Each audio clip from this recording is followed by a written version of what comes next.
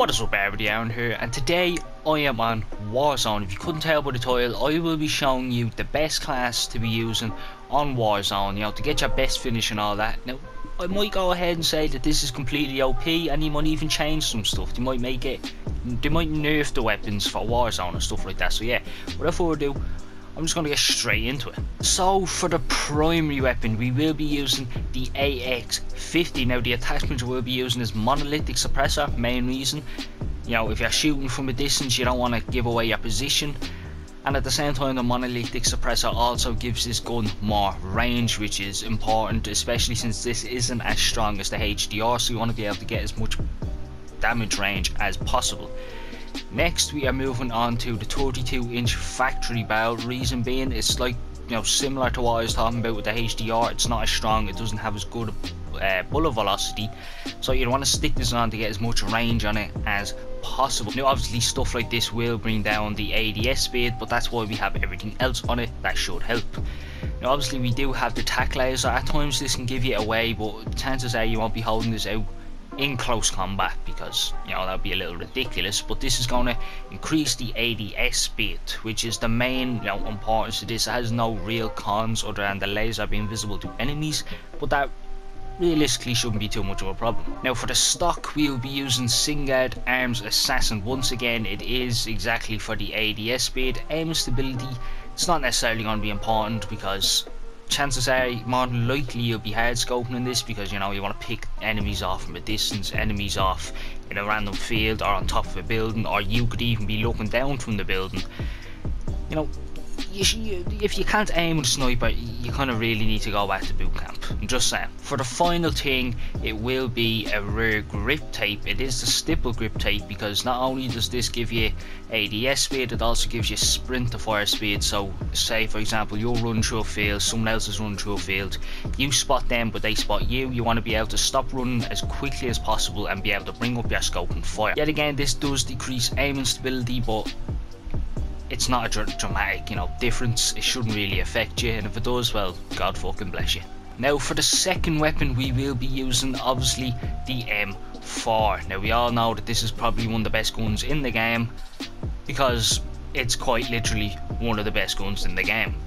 Now, obviously, for the barrel, we will be using the FSS 12.4 inch Predator. Reason being, sound suppression very important, and ADS speed yet again very important because if you don't have anything on this gun it's going to be very slow. You don't want that especially when you're getting into close quarter combat. For the laser you can either go with tac laser or 5 mil I'm guessing it's milliwatt honestly I can't remember. Be fair I didn't really fucking know to begin with. But you can use the 5 laser.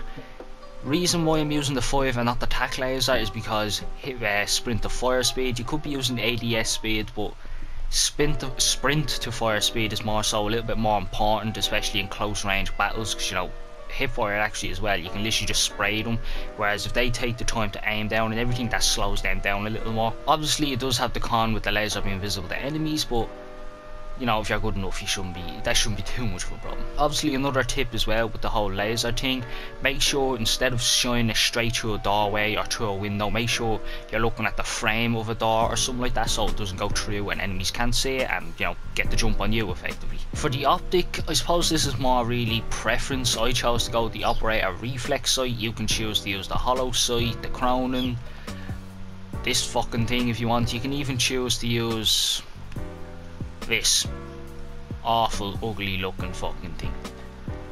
Now, me personally, I would I like the sight that's currently on it. Oh, Jesus Christ! Imagine trying to use this. F Jesus Christ. Next thing we are moving on to is a rare grip tape. Yet again, we will be using stipple grip tape. It also gives you, it obviously gives you ADS speed and sprint to fire speed. Very important. Aim stability. Like said, the sniper view, you should be able to aim you should. And for the underbarrel, we will be going for Commando foregrip. Out of everything here, I mean, this is one of the most useless things I've ever seen in my life. An underbarrel grenade launcher for a smoke screen. Now, don't get me wrong.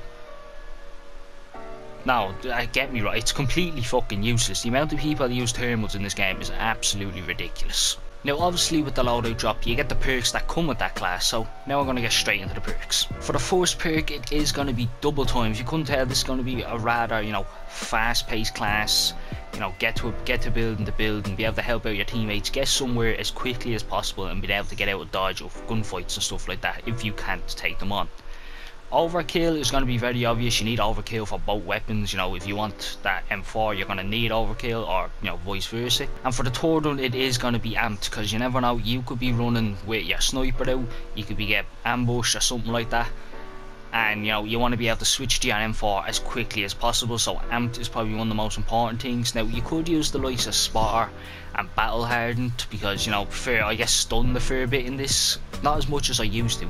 And spotter is good for you know I've been I've been killed or at least been weakened and then killed by a lot of claymores and stuff like that so this would be useful for like endings where it ends in a building or just genuinely going against um, campers and stuff like that. I've seen people use tracker against me as well which is very fucking annoying because it seems to work. Now for the lethals ideally you can probably go with anything. I tend to pick when I don't have C4 or anything I tend to go with a Semtex or a frag grenade Sometimes a Molotov because of how effective they really can be, and I, that parrot is fucking screaming. Throwing knife, unless you have very, very good aim, I wouldn't recommend it. Proximity mine, if you're an asshole, go ahead. Thermite, I don't know, because I've seen someone chase me and then kill themselves with their own thermite, which it, it, was quite funny, I'm not gonna lie. Now, for the tactical, I would highly recommend the heartbeat sensor. Now, I'm not 100% sure if cold-blooded I'm, I'm not 100% sure. Still visible to recon drones but cannot be marked. I'm not 100% sure if they give you away or hide you from a heartbeat sensor but I notice not a lot of people do use it if that is the case. So a heartbeat sensor can sense people up there about 50 meters I believe so you know if you're afraid of going into a building pull out the heartbeat sensor check you know so like if you're coming in from the front just literally hold your heartbeat sensor, see which direction they're in or if they're in there. I wouldn't recommend going to Slingshot because of how frequently you can find them and to be fair you only get two. It does kind of run with that fast sort of play style but ideally end game and stuff like that you don't want to be dying too quickly or like that or you don't want to be dying to people sitting in corners Heartbeat sensor is definitely the way to go. Stun grenades and flash grenades are also useful. I suppose stun grenade personally is more useful to me than a flash grenade. Reason being is because a flash grenade completely blinds and deafens people. You still have full mobility, whereas a stun grenade, you're completely slowed down. You may be able to see, but if you see somebody strafing to your left, you don't. Your person can't physically turn quick enough to the left to be able to shoot them. So technically, you still lost that battle unless they have a fucking pellet gun. Snapshot grenades fucking useless. Don't even touch these things. Decoy grenades, I've seen these being thrown at me multiple times. and I'm not gonna lie, they have caught me off guard. I will not lie about that. But I've yet to die to someone throwing one at me. I'll tell you that. So there we have it for this class. Now as you can see, both classes aren't necessarily ranked up to the most, but like, well, the sniper is ranked up all the way. The M4 is like two levels away, and I believe all you get is like a scope or like an not even an attachment but rather a perk. So I do have everything that's needed unlocked for these guns. In my opinion this is one of the strongest classes you can use. The sniper helps you at long range and sometimes medium range depending. And the M4 that I've created can help long range or longish range but more so medium like sort of in between medium to long and obviously short distance as well depending on how quick you are and how you use it movement also comes into this. I would recommend using the strafe and also sliding.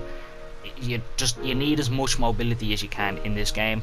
Vehicles help a lot as well, but be wary people have C4s and rocket launchers, the RPG, the PLA and stuff like that. So if you are to get into a vehicle, I'd recommend the truck because that takes like two shots away I think it's two to three shots of an RPG, so you'll be grand for the first shot once your teammates in the back don't get hit. That's if you are playing with teammates, obviously. So yeah, that's going to wrap it up for this video. If you have enjoyed it, first of all, I'd recommend giving this class a go. Share with your friends, tell them that this class is OP. And yeah, if you enjoyed this video, don't forget to leave a like. If you want to see more content like this or content in general, don't forget to subscribe. See you all in the next video. Peace.